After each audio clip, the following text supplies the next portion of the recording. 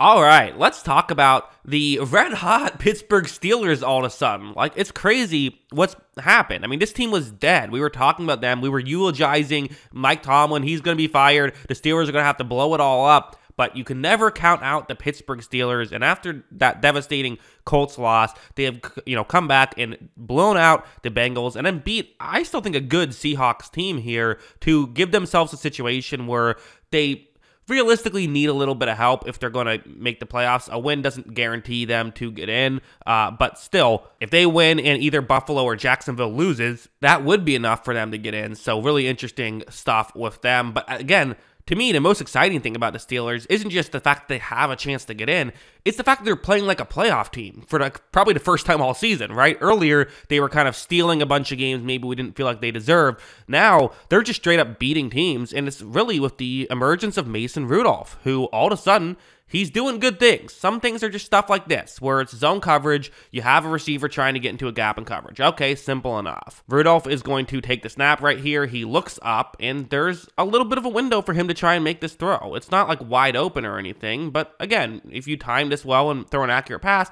you can make this work. And as you see, that's exactly what Rudolph does. I mean, it's just a simple, solid play. And these are the types of things that you kind of want your offense to be able to do. And quite frankly, with Kenny Pickett and with uh, Mitchell Trubisky, when these plays were open, they weren't really getting hit. So I do think that Rudolph just being able to be a game manager type quarterback, that gives uh, Pittsburgh a big advantage. I really do think it does. Also, I got to talk about Jaylen Warren, who I feel like every Steelers game I'm watching, and I'm just like, Jaylen Warren just seems to make like two or three like great plays a game, it feels like. Uh, even in this game, while his overall stats weren't great, eight carries for 27 uh, yards, that's, you know, not typically fantastic, although he did have another 30 yards uh, receiving. But here you see the blocking concept on your screen. And again, it seems like Warren will do this once or twice a game. Watch what's going to happen. You're going to see Rudolph take the snap. He's going to hand the ball off to Jaylen Warren, and there is a hole for the Steelers to, uh, you know, that the Steelers have opened up. And it feels like when Warren can get some open space,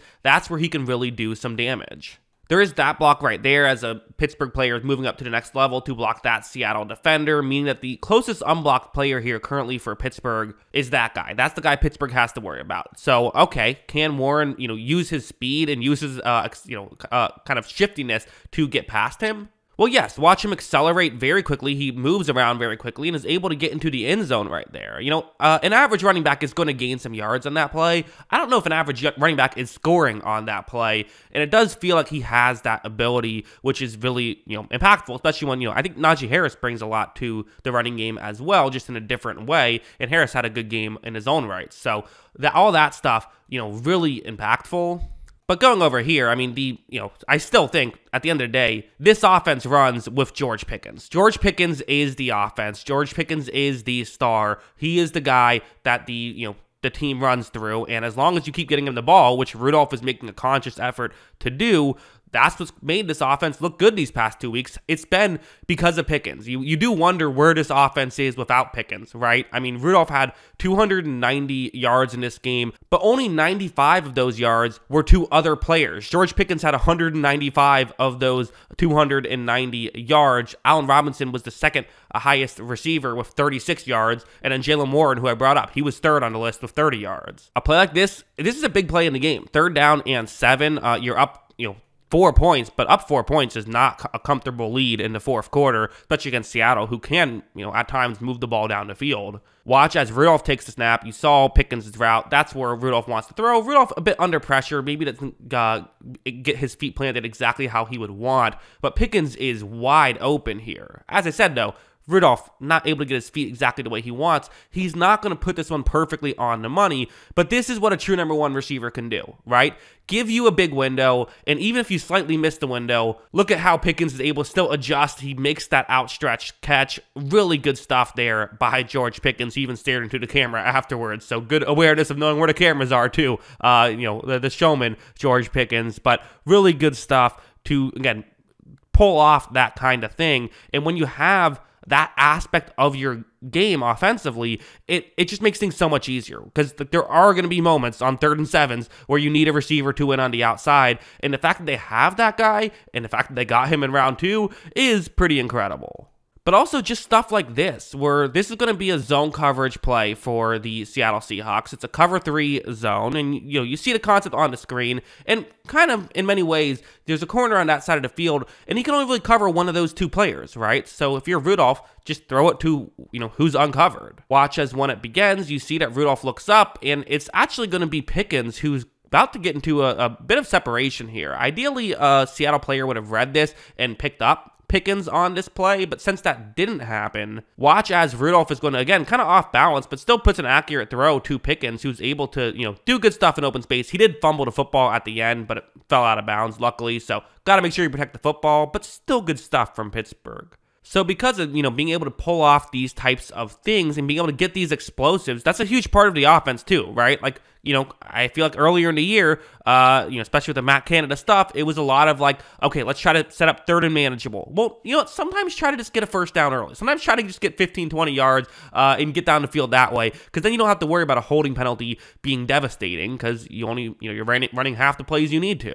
And also something like this, just this, like, this is like the first time stuff like this was happening with any consistency, which might actually say more about the uh, Seattle defense than anything potentially. But again, it's a good schematic play where you have Pickens running a deep route, kind of a clear out route. He gets a lot of attention, so you got to use that to your advantage. You're then going to have another receiver run a route more over the middle on this play. This will be Diontae Johnson. Watch as when Rudolph takes the snap, he's going to look over the middle. He eventually fires over the middle, and Johnson is, I mean, there's no one even close to him at this point, which is a not great situation here for the Seattle Seahawks.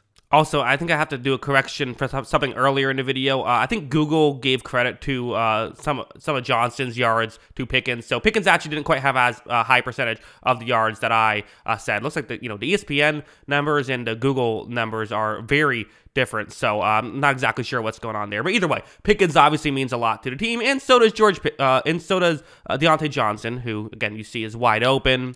Also, when Rudolph makes the throw to Johnson, he's able to do some good work in uh, you know in open space right there. So really good stuff there from Johnson. And again, it's set up due to the George Pickens uh, stuff. So, you know, good stuff across the board here for Pittsburgh. But yeah, uh, as a whole, I mean, it's it's just I don't know. It's it's good stuff, and it, honestly, it would be such a shame at this point if Pittsburgh finally gets their offense together, they win the final three games of the season, and it's not enough to get into the postseason. Because again, the way they get in is uh, if they win, then what they need is a either a Bills loss or a Jaguars loss. They get one of those. Which Bills play the Dolphins, that's no easy win, and the Jaguars play the Titans, which is a relatively easy win. But the you know Jaguars are really injured right now, so you know is Lawrence even going to play? There is definite potential for Pittsburgh. There is a way where Pittsburgh can get in with a loss as well due to kind of tiebreakers. They would need a Denver win, even though Denver's already out. That that's what they would need and then they would need a Jacksonville loss on top of it. But to be honest, with